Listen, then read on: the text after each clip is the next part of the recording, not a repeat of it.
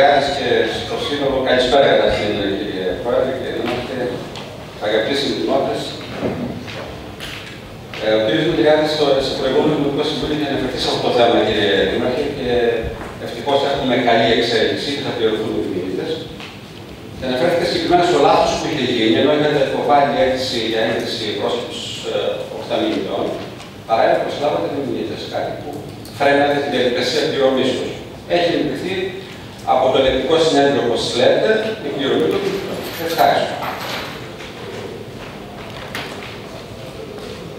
Ε, στο Δημοτικό Διαμέρισμα Αγκαθιά υπάρχει μια περιοχή κοντά στον οικισμό, τα λεγόμενα Σαΐρια, ο αντιδήμος που θα γνωρίζει, ο Δημοτικός Συμβούλιο του 1997 ε, υπάρχουν, γίνονται πολλά παράπονα από συνδημότε μας για παράγοντες ε, καταλήψη.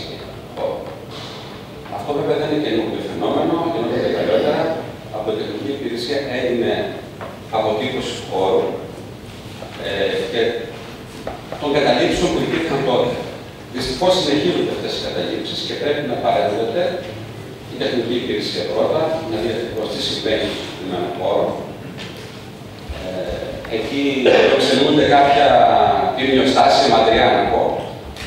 Όμως από το χώρο που τους είχε παραχωρηθεί προφανώς από την κοινότητα κατά αρχικά στο ένα θέμα ή τέλο πάντων στην έκθεση, ο καθένας έχει μεγαλώσει και υπάρχουν παράπονα και προβλήματα μεταξύ του δημοτικού.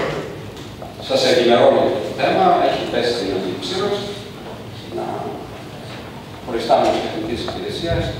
Θα επιληφθούμε το θέμα του κύριε Πενίπολη. Υπάρχει νομίζω και μια διαμάχη συγκεκριμένων προσώπων εκεί Ακριβώς θέλω να που σταματήσω. προσφεύγουν σήμερα νομίζω στα δικαστήρια και ανακρίνονται.